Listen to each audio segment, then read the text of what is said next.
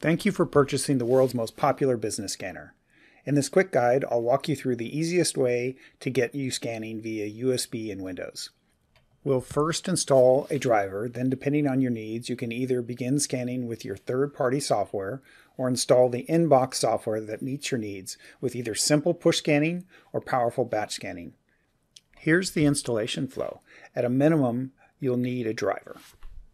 You can always use the DVD to install the basic software. However, I recommend downloading the latest software from our website. The URL is listed below. We're first going to install the Twain driver, which is the most common driver there is. It will most likely work with your software and all the software that comes with the scanner. There are a couple of other commercial drivers out there which are much more uncommon than Twain. The first is Kofax VRS, and the other is ISIS. You'll have to check with your third party application provider to see what driver they require.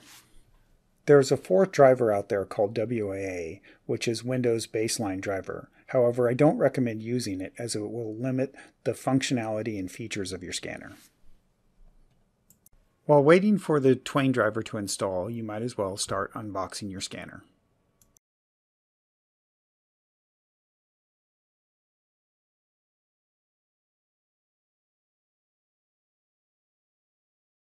Once the Twain driver is installed, plug in both the USB cable and power cable, then turn the scanner on. If you're using third-party software, you should be just about ready to scan. All you'll need to do is run your software and select your driver. In your driver selection, you should see PaperStream IP. Make the selection and start scanning. Next, we're going to install PaperStream ClickScan. Now, this software is extremely easy to use and great for what we call ad hoc scanning.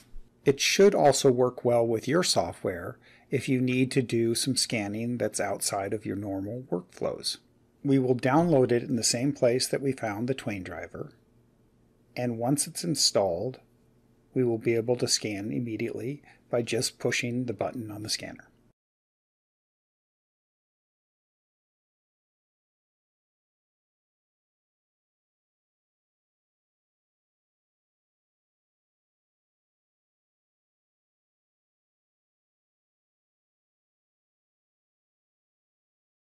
Next, we're going to install our powerful batch scanning software, PaperStream Capture.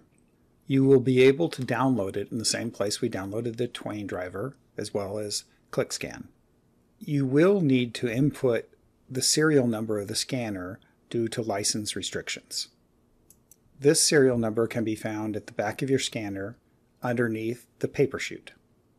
Once downloaded, install the software as normal.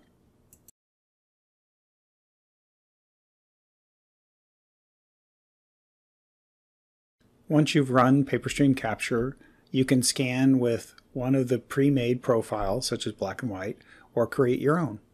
I'd like to say thank you for purchasing our scanner, and if you have any problems, feel free to contact our Technical Assistance Center.